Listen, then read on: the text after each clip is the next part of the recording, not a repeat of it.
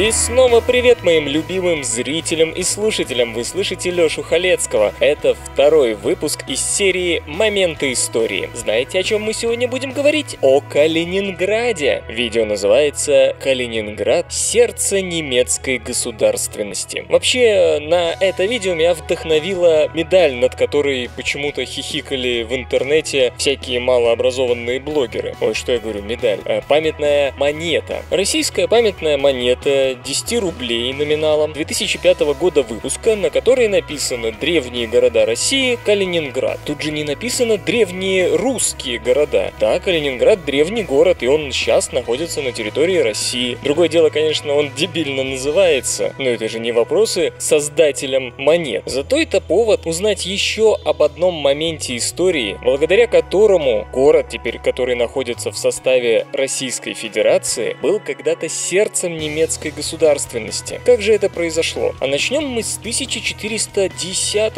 года, да-да. Ну, кто сразу быстро вспомнит, что произошло 15 июля того года? Ну, вот ты, вот нет, вот да, вот ты. Ну, что, что? Слышу, слышу правильные ответы. Да, Грюнвальдская битва. Решающее сражение в войне Союза Польши и Литвы против Тевтонского ордена. Не буду подробно останавливаться на самой битве, об этом много написано, сняты фильмы, да и вообще это надо отдельное видео по всему этому чуду делать. Отмечу несколько фактов только. Забавно, что примерно в начале второй-третьей битвы началось отступление войск Великого княжества Литовского. Так вот, русские и польские историки считают это отступление бегством, а литовские и белорусские историки считают, что это была тактическая уловка, потому что в итоге вот это отступление и помогло э, разбить преследующие силы крестоносцев. В общем, как вы понимаете, каждая страна пытается выглядеть как можно лучше. И историки этой страны всячески стараются именно свои войска преподнести главными победителями в этой великой битве. Второй интересный факт это то, что Грюнвальд прочно укоренился в литовских названиях, названиях современной Литвы. Грюнвальд это зеленый лес. Грюн – зеленый, вальд – лес с немецкого языка. По-литовски зеленый лес, знаете как будет? Ну какое вот вообще вы литовское слово точно слышали? Опять слышу правильные ответы. Жальгирис. Жальгирис – это зеленый лес по-литовски. Так что название баскетбольных команд, футбольных команд идет именно вот от Грюнвальдской битвы, хотя Грюнвальд э, сейчас находится на территории Польши, а не Литвы. Но возвращаемся к Калининграду. 15 июля 1410 года войска Тевтонского ордена были разгромлены объединенными войсками Польского королевства и Великого княжества Литовского. Большинство рыцарей было убито или взято в плен, но, несмотря на поражение, крестоносцы смогли выдержать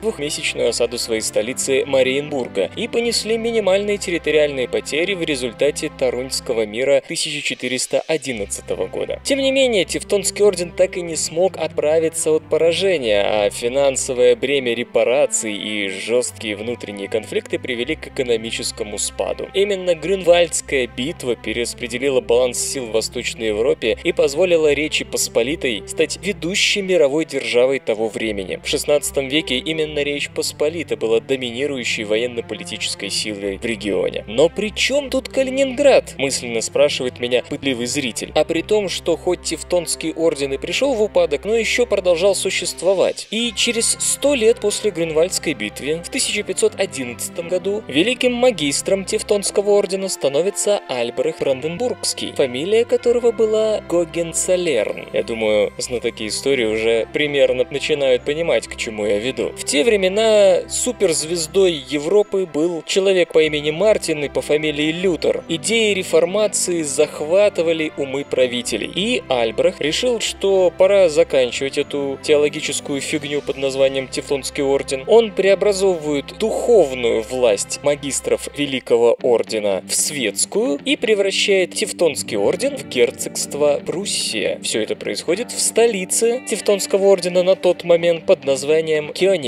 Итак, Альбрехт Бранденбургский Гогенцолерн в Кёнигсберге объявляет о создании герцогства Пруссия. Да, тогда это была не самостоятельная политическая единица. Герцогство Пруссия было связано с польским королевством вассальной присягой, и глава герцогства, вы не поверите, носил звание герцога Пруссии. Успеваете следить за событиями, да? Дальше постепенно, в связи с ослаблением Польши, возвышалась Пруссия. В 1618 году опять проходит 100 лет, к Пруссии присоединяется Бранденбург, земля Бранденбург. Ну, там сложные династические терки. В Бранденбурге правила младшая ветвь Гогенцолернов. Э, умирали бывшие правители, не оставляли наследников, поэтому происходит это объединение. Важно, что вместе с Бранденбургом к Пруссии присоединяется небольшой городок под названием Берлин. Еще раз повторяю, Польша постепенно слабеет, и благодаря внешним врагам, но, по моему мнению, в основном благодаря врагам внутренним, шляхте, которая не могла поделить власть, которая пеклась только о деньгах, и в 1701 году герцогство Бранденбург-Пруссия становится королевством Пруссия. Причем интересно, что к этому моменту столица уже была перенесена в Берлин, и, по идее, королевство должно было называться Бранденбургским. Но, так как э, династия правила все та же, Гугенцолернов, которая берет свое начало из Кёнигсберга, напоминаю, то и королевство называлось Пруссия. Ну а дальше продолжалось укрупнение, усиление прусского королевства, война с Австрией за главенство в немецком мире, и в 1871 году, после победы во франко-прусской войне, в зеркальной галерее Версаля была провозглашена Германская империя, а ее кайзером Вильгельм I. Кстати, зеркальная галерея специально была выбрана, чтобы унизить французов. Дальше вы все помните. Первая мировая война, Вторая мировая война. И по итогам Потсдамской конференции территория, сердце прусского герцогства, откуда, собственно, и пошла вся государственность Германской империи, откуда вышла династия Гогенцолернов, входит в состав России. Кёнигсберг переименовывается в Калининград всего лишь потому, что совершенно недавно до переименования умер всесоюзный староста Калинин. Именно поэтому у него такое странное название Калининград. Но невозможно было перевести Кёнигсберг на русский, потому что Кёнигсберг — это королевская гора,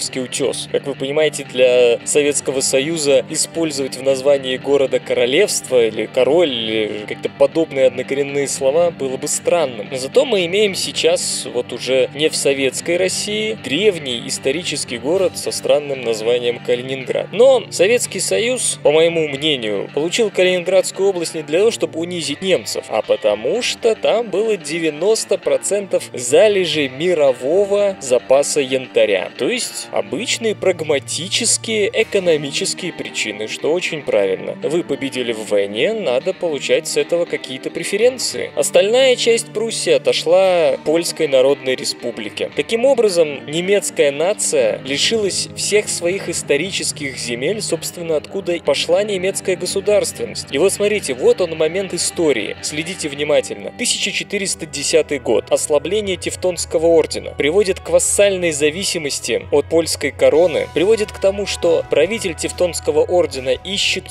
усиления своей земли, своего народа и обращает внимание на, на супер прогрессивные идеи Мартина Лютера. Становится одним из первых государств, перешедшим в протестантизм, меняет духовную власть на светскую и в течение 200 лет приводит герцогство через королевство к империи. И современная Германия совершенно спокойно относится к тому, что земли, на которых ковалась государственность страны, сейчас принадлежат совершенно другой стране. Ну, не знаю, это вот представьте, будто э, вы переноситесь в машине времени и через сто лет узнаете, что Петербург и Москва — это за граница, и там живут не русские, а совершенно другие народы. Там, например, в Петербурге сплошные финны, а в Москве, даже боюсь представить, латыши. Но немцы совершенно спокойно развили свою страну, не кричат «верните нам Калининград», и я абсолютно уверен, что вы не надо возвращать. Это победа в войне, и там живут в большинстве своем русские, россияне. Однако это не мешает э, Федеративной Республике Германия развивать свою экономику, развивать свою страну и быть одним из ведущих государств мира. Вот он еще один момент истории, когда проигрыш в войне или сражении через много веков приводит к империи. Вы слышали Лешу Халецкого? По поводу истории всегда можно поспорить в комментариях, а также еще желающих стать спонсорами этих исторических